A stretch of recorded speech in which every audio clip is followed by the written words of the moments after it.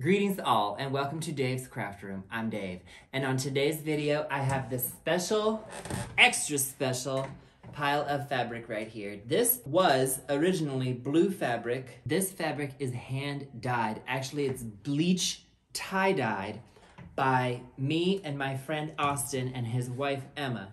They wanted to bleach tie dye garments and so and I wanted to do fabric and make a quilt out of it. So we did it and quite frankly, it's actually the fabric pile has been sitting here for a while. Not exactly a UFO, I hadn't even started yet because I didn't know what to do with it. And I knew that I wanted to come up with some idea that would showcase the beautiful designs that we bleached tie-dyed into the fabric which meant I couldn't really cut it up too small because then you'd lose the beautiful designs. It sat under the table in a pile folded up like this for so long because I couldn't figure out what design I wanted to use it for. And I realized finally that the antidote is squares. Okay, we're just gonna cut it into squares and we're gonna sew the squares up.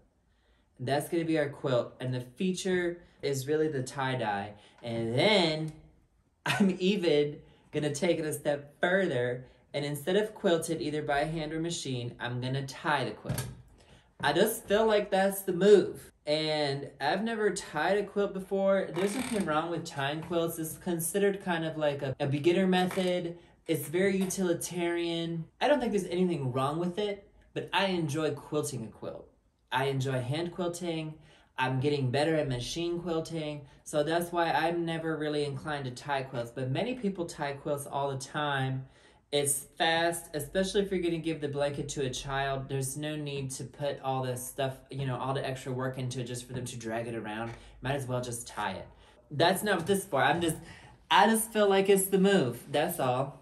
I think the thing to do is select out the favorites, showcase them, in big panels of it, whether it's a square or rectangle-ish, we'll see, but separate those out. Then there's also, most of these were fat quarters, some half yards, and then some were like this. Some were fully just scraps. I feel like this amount is probably more I'm gonna have extra. Once I've showcased the best of it, whatever I have with scraps, at that point I'll feel totally liberated to use them however I want. At this point I'm I'm feeling a little confined by the nature of having made this by hand. So I, I just need to do it. I need to sew it. I want to sew it up. I want to tie it instead of quilt it. And uh, I'm not going to be concerned that it's not the most beautiful design per se in terms of the patchwork quilting. Okay, everything doesn't have to be on the next level. We can just do, like, I can just make a quilt. You know what I mean? I don't, I just want to make a quilt. That's all. Now, when me and Austin were tie-dyeing the stuff, I did film some clips. I didn't film the whole process because I really just didn't feel like filming. I wanted to spend time with my friend. I really didn't want to film it.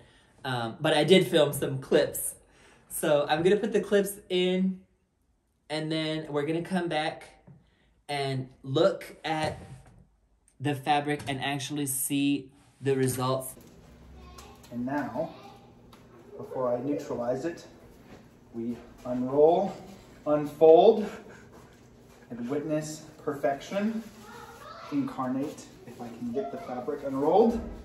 I like it. little boxes. Maybe it's the wrong way up. Hold on try sideways. I like it. It kind of looks like a butterfly or something with the, the head, with the little antennas, you know? Yes. Or like a flower. Yeah, yeah, yeah. I see cactuses. I see that New Mexico symbol. Maybe it's the clouds. You can see anything you want in it.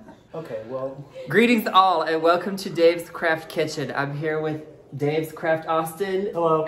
and his wife Emma.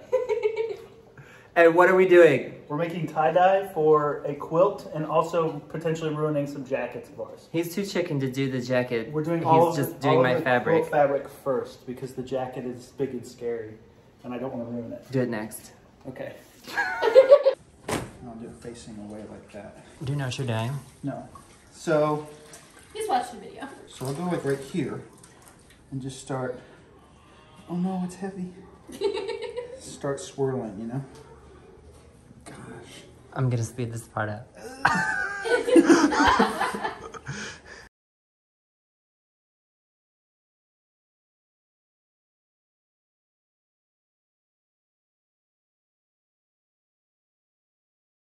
Picture in there. Stunning. It matches your hair. Make sure everything's squished.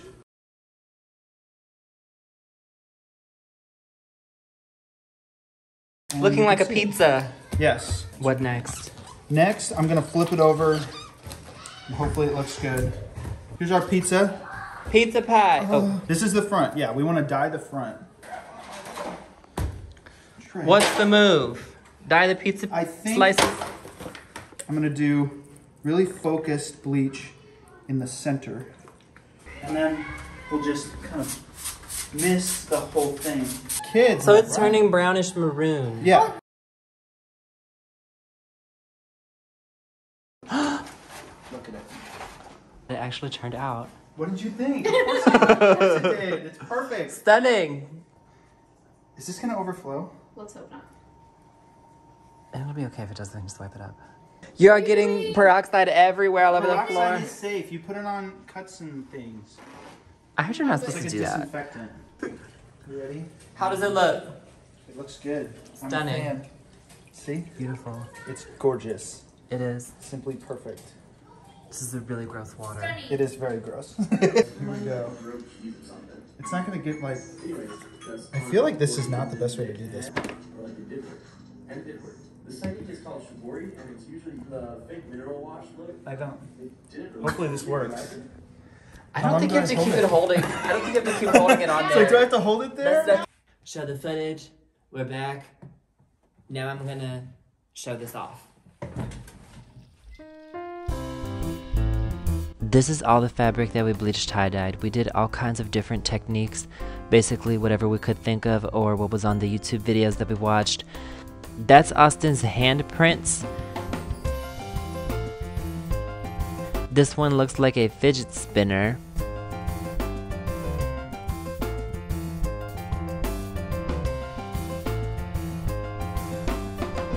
We did some shibori techniques. This was actually using the bleach gel of the toilet bowl cleaner. And on this one, we put some painter's tape across it and sprayed it with bleach that was in a spray bottle. And then we did some Jackson Pollock again with the toilet bowl cleaner. Some of it we just scrunched it up to make random designs. After we bleached the fabric and let it sit for like 10 minutes, we unwrapped the rubber bands and put it in a peroxide bath, which deactivates the bleach. And I'm going to leave a link below to some instructions on how to do bleach tie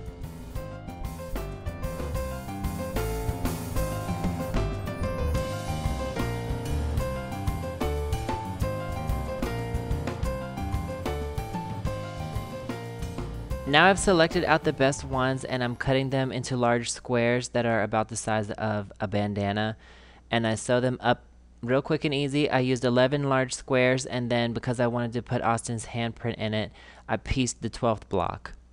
As I was making this first quilt, it became clear that I would need to sew up the remaining scraps into a second sibling quilt.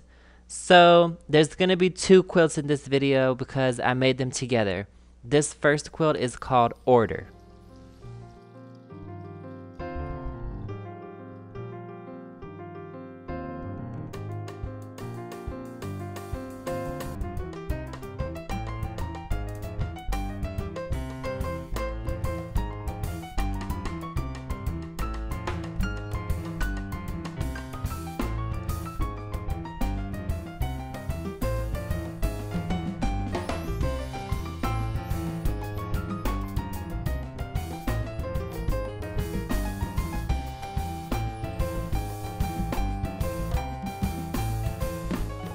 Now for the second quilt. I started this quilt working with uniform squares just to see how far I could get like that. And I could cover maybe a third of the ground I needed to. Then I started doing improv in the same technique I've used in the flannel quilt video and the denim quilt video. It's pretty simple. I sew two pieces together and then square that up. Then I sew that to a third piece or another piece of other pieces and I make neighborhoods. Then I sew the neighborhoods together. The second quilt is called Chaos.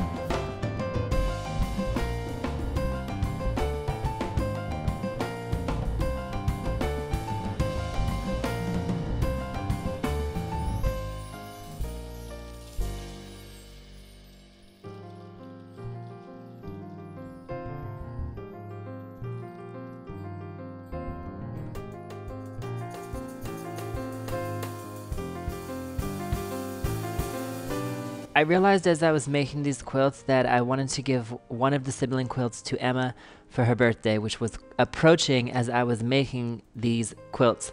I actually think this video is going to go up on Emma's birthday, so happy birthday to Emma.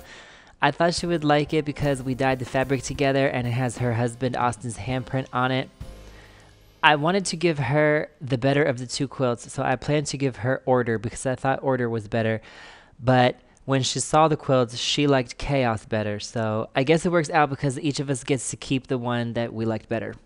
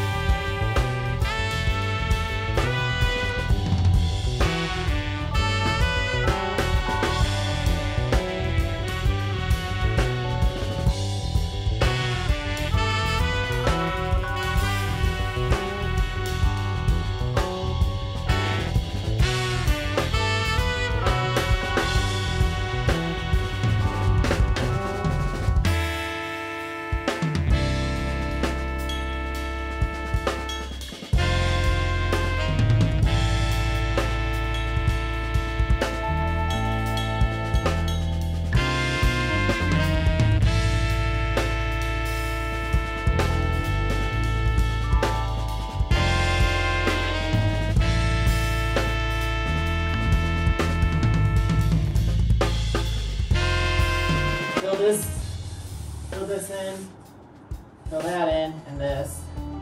Add length. And do this. Just add like 8 to 10 inches.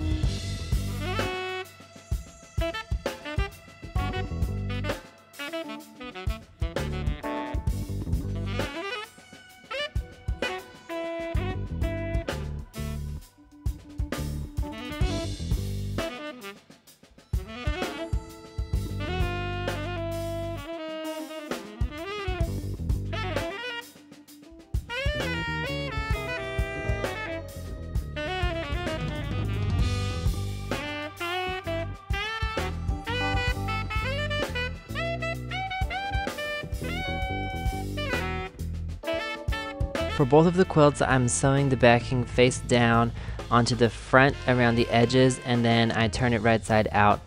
And now I'm ready to tie this quilt. It's pretty easy. I'm using embroidery floss. I know that most people use yarn, but I don't have any yarn. I have embroidery floss. At first, I tried to get the ties evenly spaced and in a perfect row, but then I remembered that this quilt is called Chaos. Why bother doing all that? So then I started putting them in random places. I also realized that I could continue sewing from knot to knot and then cut it later and tie the pieces later, and that made it go faster. But speaking of faster, this tie job actually took a couple of hours. Like I actually think machine quilting would have been faster, but I am really liking the look of this tied quilt. I think it just works for chaos. I definitely needed to do this to get over thinking that there were some quilting methods that are better than others. It doesn't matter if you tie it or if you do free motion quilting or long arm or hand quilt. What matters is that the quilting works for the project and that you like it.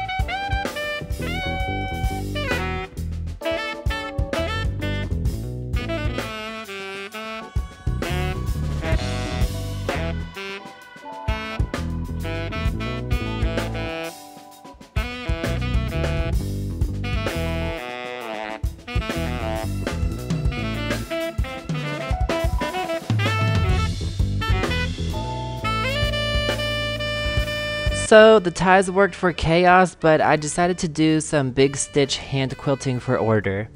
I learned a very valuable lesson, even though I've learned this lesson before, but I tempted fate again. Whatever instructions are on your batting package as to how far apart you can quilt it, follow those instructions. It's on the packaging, it usually says like up to 8 inches apart or 6 inches or 10 inches, whatever it is. That is not a suggestion, it's a rule.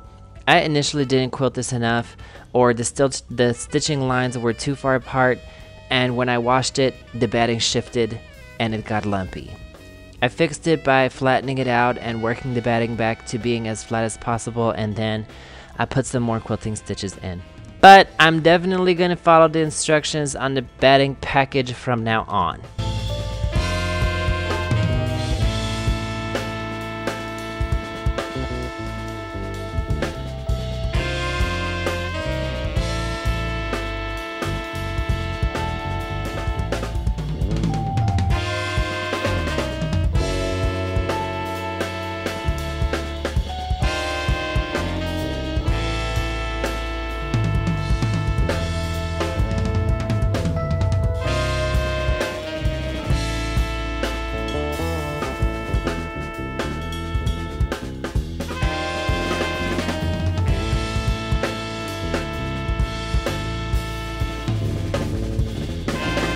So these are Order and Chaos. I absolutely love them.